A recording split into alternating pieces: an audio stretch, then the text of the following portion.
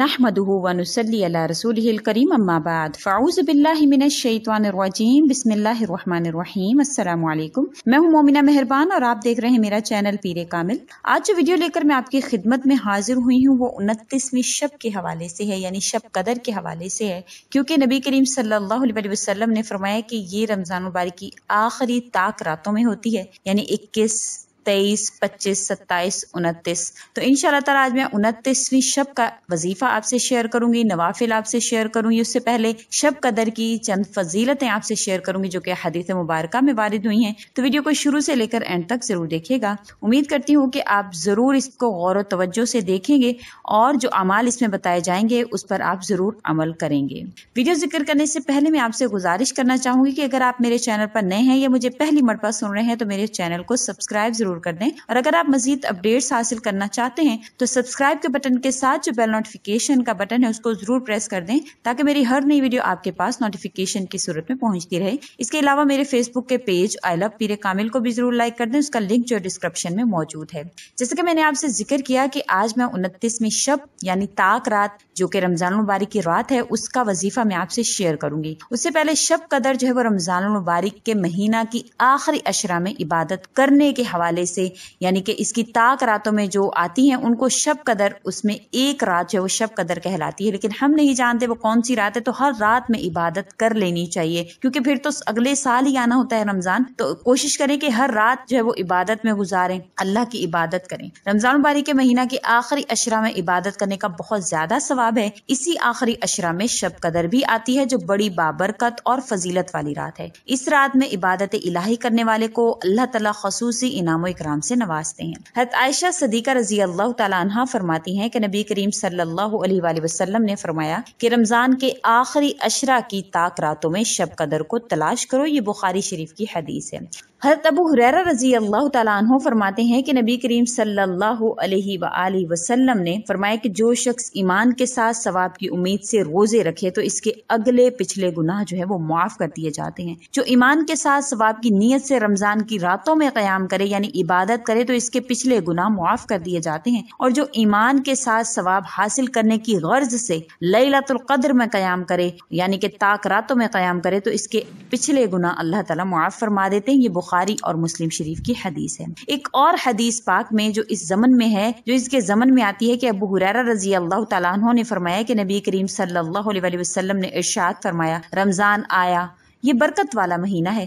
اللہ تعالیٰ نے اس کے روزے تم پر فرض کیے ہیں۔ اس میں آسمان کے دروازے کھول دیے جاتے ہیں اور جہنم کے دروازے بند کر دیے جاتے ہیں اور سرکش شیاطین کو توق پہنائے جاتے ہیں۔ اس میں ایک رات ایسی ہے جو ہزار مہینوں سے افضل ہے، جو اس کی برکتوں سے محروم رہ گیا۔ بے شک وہ محروم رہ گیا۔ مشکا شریف کی یہ حدیث ہے جو میں نے آپ سے ذکر کی ہے۔ شب قدر کی عبادت کا انعام حضرت انس رضی اللہ تعالیٰ عنہ فرماتے ہیں کہ نبی کریم صلی اللہ علیہ وآلہ وسلم نے فرمایا کہ جب شب قدر آتی ہے تو جبرائیل علیہ صلاۃ وسلام ملائکہ کی جماعت کے ساتھ آتے ہیں اور ہر اس بندے کے لیے دعائیں مغفرت کرتے ہیں جو کھڑے ہو کر یا بیٹھ کر اللہ تعالیٰ کے ذکر میں مشغول رہتا ہے۔ پھر جب انہیں عید الفطر کا دن نصیب ہوتا ہے تو اللہ تعالیٰ اپنے ان بندوں پر اپنے فرشتوں کے سامنے اپنے خوشنودی کا اظہار کرتے ہیں اور فرماتے ہیں کہ اے میرے فرشتوں اس مزدور کی اجرت کیا ہے جو اپنا کام پورا کر دے؟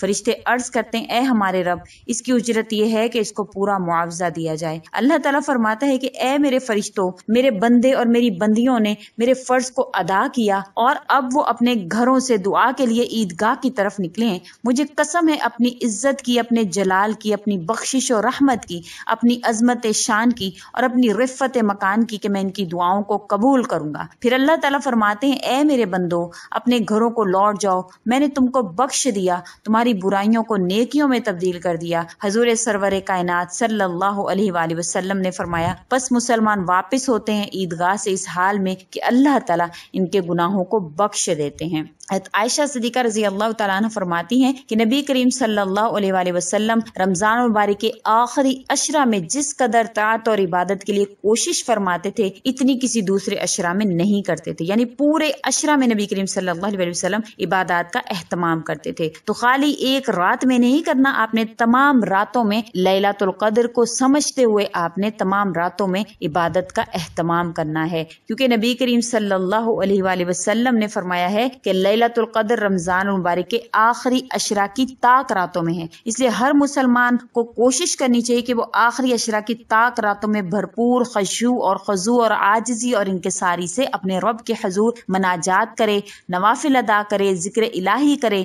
نبی کریم صلی اللہ علیہ وآلہ وسلم پر زیادہ سے زیادہ درود پڑے اور شب بیداری کرتے ہوئے خوب عبادت کرے اور اللہ تعالیٰ کے خصوصی فضل اور کرم اللہ پاک اس پر نازل فرمائیں گے اور گناہوں کی معافی اللہ تعالیٰ اس کو عطا فرمائیں گے۔ تو آج جو وظیفہ میں آپ سے ذکر کر رہی ہوں وہ انتیسویں شب کا ہے۔ انتیسویں شب میں آپ نے کیا کرنا ہے کہ جو کوئی جو کوئی رمضان باری کی انتیسویں رات کو سات سات مرتبہ صورت الواقعہ پڑے گا تو اللہ تعالیٰ اس کے لیے رزق میں خوب اضافہ فرمائیں گے خوب اضافہ فرمائیں گے اور تمام سال اللہ تعالیٰ اس کے رزق میں برکت عطا فرمائیں گے۔ بے شک رزق تو بے پناہ لوگوں کے پاس ہوتا ہے مگر اس میں برکت نہیں ہوتی۔ کئی لوگوں کے کم رزق میں بھی اللہ تعالیٰ نے اتنی برکت دی ہوئی ہوتی ہے کہ ان کے وہ تمام معاملات بھی ساتھ ساتھ چل رہے ہوتے ہیں، ان کی بچت بھی ہو رہی ہوتی ہے۔ تو اللہ کی طرف سے ہے برکت۔ اللہ جسے چاہتا ہے رزق میں برکت عطا فرما دیتا ہے، جسے چاہتا ہے اس کے رزق میں بے برکتی کر دیتا ہے۔ کئی لوگوں کے لاکھوں میں تنخواہیں ہوتی ہیں، لیکن ان کے رزق میں برکت نہیں ہوتی۔ تو آپ نے کرنا کیا ہے کہ رمضان مبارک کی انتیسویں رات کو پہلے تو آپ نے سات مرتبہ صورت الواقعہ پڑھ لینی ہے۔ اگر ہو سکے تو اس کا پانی گھر میں چھڑکاؤ بھی کر لیں اور واقعہ پڑھ کر اس کے بعد گھر والوں کو بھی اس کا پانی پلا دیں۔ کیونکہ اس کے بہت سے فضائل جو میں پہلے سورہ واقعہ کے ذکر کر چکی ہوں۔ اگر آپ نے میری وہ ویڈیو نہیں دیکھی تو آپ وہ بھی دیکھ سکتے ہیں۔ اس کے علاوہ رمضان مبارک کی رات کو جو کوئی بھی چار رکت نفل نماز دو دو کر کے اس طرح سے پڑھے گا کہ ہر رکت میں سورت الفاتحہ کے بعد ایک مرتبہ سورت القدر اور تین تین مرتبہ جو ہے وہ سورت اخلاص پڑھے گا اور نماز سے فارغ ہونے کے بعد ستر مرتبہ سورہ علم نشراہ پڑھے گا تو اللہ تعالیٰ اسے ایمان کی سلامتی، ایمان کی مضبوطی عطا فرمائیں گے اور انشاءاللہ جب اس دنیا سے جائے گا تو ایمان کی سلامتی کے ساتھ جائے گا کیونکہ ہر مومن کی خواہش ہوتی ہے کہ زندگی انسان کی ایمان میں گزری ہے تو مرتے وقت بھی اللہ تعالیٰ ایمان والا بنا کر اپنی طرف بلائیں، کلمہ نصیب ہو جائے اس کو تو ان شاء اللہ تعالیٰ آپ نے یہ نماز جو وہ چار رکت نوافل پر مشتمل ہے، یہ آپ نے ضرور پڑھ لینی ہے کہ ہر رکت میں صورت الفاتحہ ایک مرتبہ پڑھ لیں۔ صورت القدر جو ہے وہ آپ نے ایک مرتبہ پڑھنی ہے اور اس کے بعد تین مرتبہ آپ نے صورت الاخلاص پڑھنی ہے۔ نماز سے فارغ ہونے کے بعد ستر مرتبہ علم نشرہ پڑھیں گے تو انشاءاللہ آپ کو یہ تمام تر فضائل حاصل ہوں گے۔ اس کے علاوہ رمضان مبارک کی انتیسویں شب کو جو کوئی چار رکت نفل دو دو کر کے ادا کرے، اس طرح سے کہ ہر رکت میں صورت الفاتحہ کے بعد ایک مرتبہ صورت القدر اور پانچ پانچ مرتبہ صورت الاخلاص پڑھے۔ تو جب نماز سے انشاءاللہ نماز پڑھ کر فارغ ہو جائے تو ایک سو مرتبہ نبی کریم صلی اللہ علیہ وآلہ وسلم پر درود شریف پڑھے اور بارگاہ الہی میں گناہوں کی معافی مانگے اور اللہ تعالیٰ کے خصوصی کرم میں سے اللہ کا کرم مانگے۔ انشاء اللہ تعالیٰ اس کے بعد اللہ پاک سے جو بھی اس کی پریشانی ہے، جو بھی اس کی حاجت ہے، اللہ تعالیٰ سے اس کا، اللہ تعالیٰ سے اس کی درخواست کرے۔ انشاءاللہ اس کی پریشانی کو اللہ پاک دور فرما دیں گے۔ اس نماز کی برکت سے چار رکت نفل آپ نے پڑھنی ہے۔ اور انشاءاللہ دیکھیے گا کس طرح سے اللہ پاک آپ پر اپنا کرم فرماتے ہیں۔ نہایت ہی آسان سے وظائف ہیں، مشکل نہیں ہے لمبے چوڑے نہیں ہیں۔ آپ نے یہ ضرور کر لینے ہیں۔ اس انتیسویں شب میں ان اعمال کو کر کے اللہ پاک کے انعام و اکرام کے مستحق بنیں گے۔ انشاءاللہ میں امید کرتی ہوں کہ ضرور آپ یہ اعمال کریں گے اور اللہ کے انعام و اکرام سے آپ بھی مستفید ہوں گے۔ بے شک اللہ تعالیٰ ہر چیز پر قادر ہے جس بھی نیت سے، جس بھی طرح سے آپ اللہ سے مانگیں گے، اللہ تعالیٰ آپ کو عطا کرنے پر قادر ہیں۔